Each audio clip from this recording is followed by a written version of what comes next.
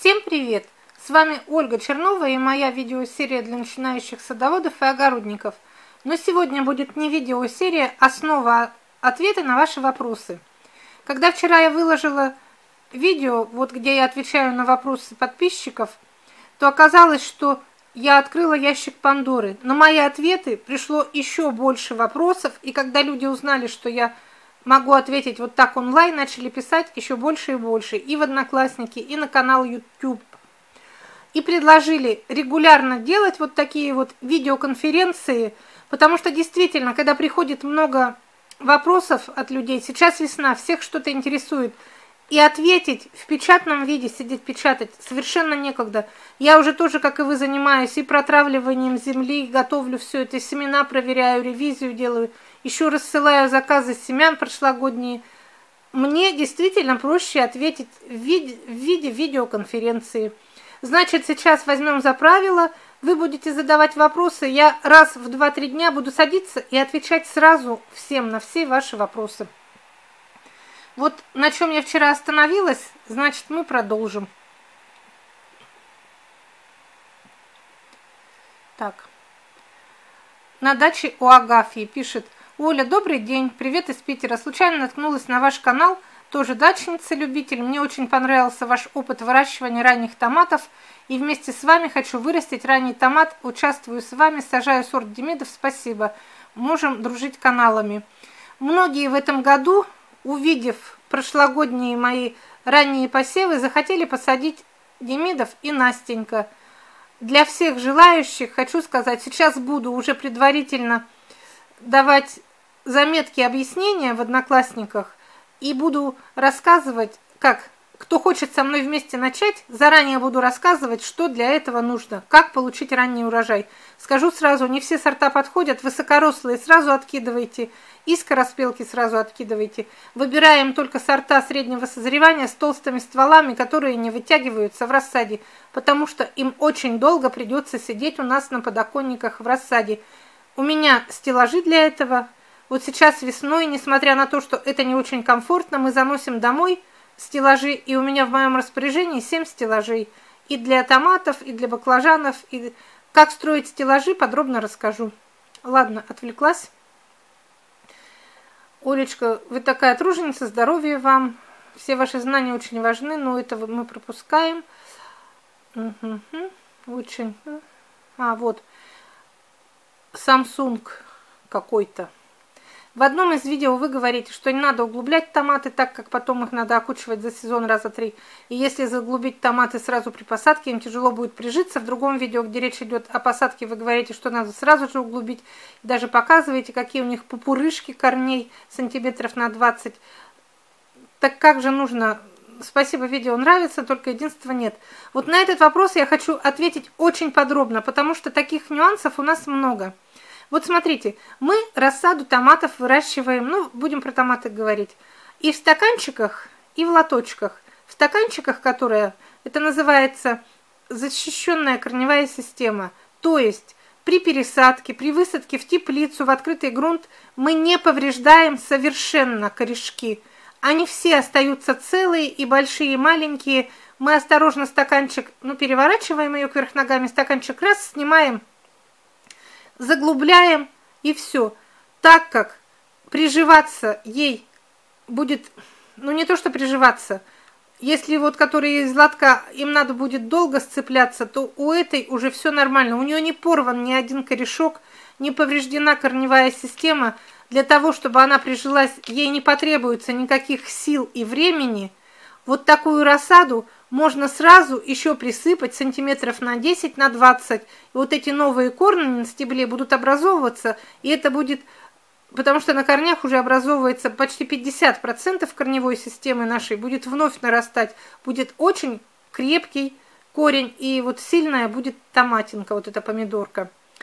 Если же томат выращивали вы в лоточке, и выгребаете оттуда, ну как, стряхиваете вот эту землю, корешки рвутся. Это называется открытая корневая система. При пересадке они очень травмиру... трам... Трам... Травмы, короче, мы им наносим. Нам кажется, что мы землю отряхнули, весь корень целый. Но вот эти малейшие, много-много-много маленьких нежных корешочков все равно обрываются. При посадке этой помидорки, буду называть помидорка, хотя говорят, такого слова нет. При посадке этой помидорки лучше для нее будет, если мы закроем сначала только ту часть, где у нее корень, потому что какое-то время потребуется на сцепление вот этой корневой системы с грунтом, пока она нарастит вот это большое-большое количество мелких корешков, восстановит всю корневую систему. На это ей потребуются силы и время. Потом уже можно будет присыпать еще, так будет для нее лучше. Но, опять же, тут везде есть нюансы. Если, например, вы высаживаете даже с открытой корневой системой, но на стебле вот эти вот пупырышки уже, вот о которых говорит Samsung, господин. Вот эти вот пупырышки уже такие, что почти образовались корни вот эти воздушные. Представьте, она у вас была в комнатных условиях, в такой в комфортной температуре, и мы высадим ее на улицу, июнь, жара, у нас даже 25 градусов. Вот эти корни, которые пупырышки голенькие, их этой, этим солнцем может сжечь так, что потом, когда вы ее огребете, они уже восстанавливаться будут очень долго, возможно, вообще не восстановятся. В этом случае, даже если открытая корневая система и долго будет приживаться, то лучше сразу окучить эти пупырышки, чтобы их сохранить от солнечных ожогов. Пусть она подольше будет проживаться, но мы вот эти дополнительные воздушные корни сохраним. И я хочу по этому поводу сказать, что тут нет однозначного решения. Вам никто не скажет сразу заглублять, окучивать или что-то. Вот я я же как, я не профессиональный видеоблогер. Я вот когда что-то делаю, я это и говорю. Вот если я сегодня решила сделать так, я думаю, что ей так лучше, моей рассаде. Я делаю так, я считаю это правильным. Следующий у меня будет, например, день, и следующую помидорку я посажу совсем по-другому. Я буду считать, что это правильно. И каждый вот этот вариант будет верным. Верный тот способ высадки и посадки, который будет более щадящим для вашего растения – какую-то нужно сразу заглублять, ой, окучивать, а какую-то можно заглубить и эту лунку оставить не присыпанную, пусть она примется. Очень много времени потратила на этот ответ, но это очень важно. Раз человека интересует, и он как теряется, как же все-таки лучше. Дальше. Оля, вы такая умница, сколько знаете, умеете. Спасибо за советы, подсказки. Наглядно увидела, как ведете тетради. Дальше тоже буду показывать тетрадь. У меня уже там новые записи по Оля, большое спасибо. Просроченных не видела, взяла бы с удовольствием, особенно помидоры. Сейчас расскажу про это. С 1 января все томаты, перцы и все-все остальные культуры в садовых магазинах, у которых закончился срок 1 января 2018 года, с нормальной полки переходят на полку просрочки. Про это именно статья у меня была. Как можно ли сеять просроченные семена. Вот представляете, в декабре или в октябре ваши соседи купили эти же семена по нормальной цене, вы в январе можете взять их по очень дешевой цене. Сейчас уценка 80% на просрочку. Но это не просрочка, я уже говорила, ее даже язык не поднимается называть просрочкой. Я всегда покупаю, вот я в январе уже сейчас пошла, я купила много-много, 300 пачек пробовать, потому что я испытываю – один, другой, третий. Какой-то сорт у меня останется навсегда, какой-то у меня пройдет, я его даже не замечу. Все новые хорошие семена, вот у кого, например, до 31 декабря 2017 года, а я купила сейчас через неделю или через две, можно сказать, что это свежие, совсем хорошие семена, потому что срок годности, я еще раз повторю, он всегда выставляется намного ой, срок реализации в магазине выставляется намного меньше, чем срок годности. Все опытные садоводы знают, что семена способны всходить у нас на протяжении 5, 7, 10 лет, а реализация у них всего 2-3 года, и потом их все списывает. Но это прекрасные семена, вы можете их покупать, вы можете их сеять, получать прекрасный урожай, но главное нужно успеть в январе. Свежую просрочку сильно быстро разбирают, потом останется одно старье. Идите в садовый магазин и покупайте. Какое расстояние между томатами, какая разница в урожае между вашей посадкой томатов и обычно на квадратный метр? Вы знаете, я честно вам скажу, я никогда не, не взвешиваю, какая разница. Просто я делаю уплотненную посадку из-за того, что у меня очень маленький участок, 6 соток, охота впихать все. Но я довольна, я получаю хороший урожай. И, как говорится, менять способ, если ты, у тебя уже этот хорошо работает, смысла нет. Мне так очень удобно, во-первых, меньше колышков – вот на тысячу корней или я воткну 500 колышков, или мне надо будет тысячу колышков, если я каждый буду прицеплять. Это есть разница. Это просто вот практические такие соображения. Экономия земли, экономия колышков, пространство дорожки больше можно сделать, когда они спаренные. И многие-многие так садят. Так, идем дальше. Ура получила ответ на свой вопрос. У кого есть вопросы, пожалуйста, пишите, не стесняйтесь. Я теперь буду отвечать, потому что я вижу, что очень многие люди блуждают вот в огородах своих, в участках. Спасибо за видео, верно говорите, главное добро. Это я всегда говорю. С добрыми намерениями подошел к растению, оно вырастет в два раза быстрее, чем ты идешь и... Не знаю, у меня муж как не зайдет в огород, или наступит на что-то, или сломает, потому что он их не очень любят, и они... Не буду на эту тему, не хочу. Так, хочется слушать. Объясните, обтяните в этом году. А, опоздала заказать семена Демидов и Настенька. Если нет, нет. Вот пишет Жанна про заказ семян. Этих семян еще очень много. Если вы живете не в южных регионах и у вас позволяют сроки посеять в марте, например, как и у нас, пожалуйста, пишите мне на страницу в Одноклассники. Я заказы еще принимаю, еще высылаю. Сейчас уже нет такой очереди, как осенью. Ждали люди по 4 месяца, по 5. Сейчас вот кто в декабре заказал, я уже их рассылаю. Срок ожидания сократился, так что сейчас самое благоприятное время для заказа семян. Тоже вопрос, можно приобрести у вас томаты Нижний Новгород? Пишите, томаты приобрести еще можно.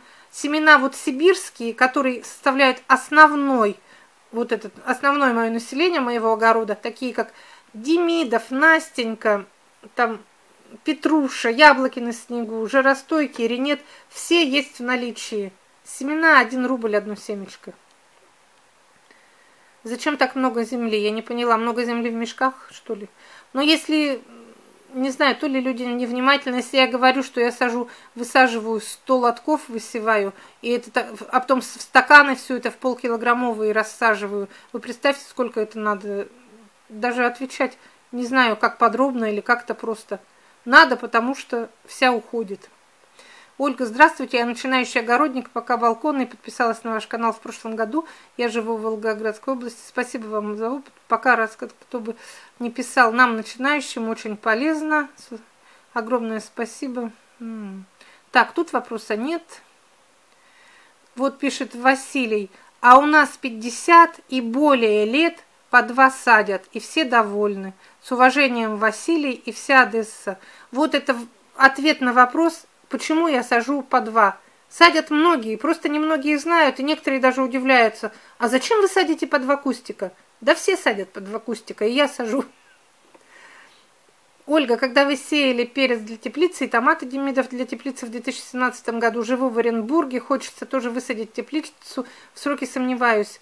Вы знаете что, вот у меня все посевы прошлого года – все показаны, все описаны, на все есть видео. Если вы заходите на мой канал YouTube, вы просто ленту отмотайте до прошлого года, до января. Там все-все посевы, пошагово, по дням.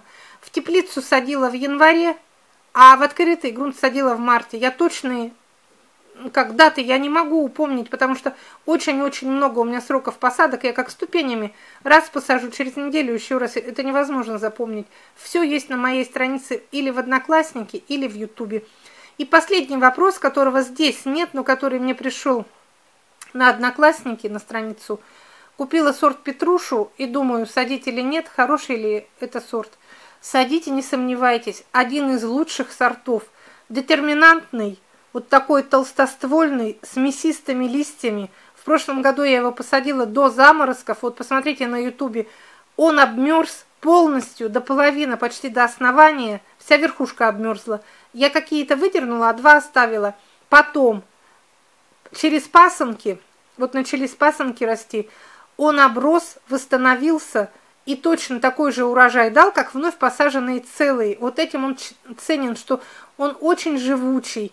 И еще главное, его нельзя пасынковать. Я два года не могла его приучиться вырастить, потому что нет точной инструкции на пакетиках. Но написано так, так, так, вот такой детерминантный, такая высота. И написано, что возможно выращивание без пасынкования. Но там не написано, что пасынкование категорически запрещено, потому что именно на пасынках весь основной урожай вот у этого петруши-огородника. Вот эти пасынки, они вырастают такие же, как основной ствол. Их не различишь ни по толщине, ни по количеству плодов. И в результате он получается весь увешанный вот такими форма, ну примерно как Кенигсберг, такие вот огромные, 300, 350 даже грамм. И вот он чем хорош? В нем совмещается скороспелость и крупноплодность. Он рано поспеет, плоды будут крупные, красивые очень. Он, его вот мои знакомые, я знаю, его и для торговли любят высаживать люди. И для продажи рассады. Рассада не вытягивается. Его можно использовать так же, как и демидов Настенька, для получения раннего урожая. Его я нынче буду садить в ранние сроки, высаживать в теплицу. И потом вам все покажу. Но у кого уже есть петруша, Обязательно садите, не сомневайтесь, он вам понравится. Но только подробно изучите, у меня, по-моему, даже статья про него есть в Одноклассниках. Изучите вот особенности ухода за ним. Не общипайте, пожалуйста, пасынки, потому что они дадут вам основной урожай. Все, на этом закончу. И так разговорилась птица-говорун. Дело в том, что Смотрите, многие хотели ко мне в друзья попасть, вот из Ютуба приходят, но в Одноклассниках ограничено количество друзей до 5000. Я их давно уже набрала, и поэтому не могу никого не принять. И по многочисленным просьбам сегодня я наконец-то создала свою группу в Одноклассниках. Называется «Огородная азбука Ольги Черновой». Все, кто хочет, приходите в группу. Буду всех присоединять, присоединяйтесь. Она еще совсем пустая, кроме моего фото и названия там ничего нет. Но я надеюсь, она быстро наполнится. Там не только я смогу давать свои советы, рекомендации, фото. Будем все участвовать. Это наше будет вот такое, как сообщество дружелюбных, таких активных, одержимых любителей растений, садоводов-любителей. Все, до свидания. С вами была Ольга Чернова и моя огородная азбука. Теперь так я буду заканчивать и начинать свое приветствие. Следующий видеоролик я буду начинать со словами «Всем привет! С вами Ольга Чернова и моя огородная азбука. До свидания!»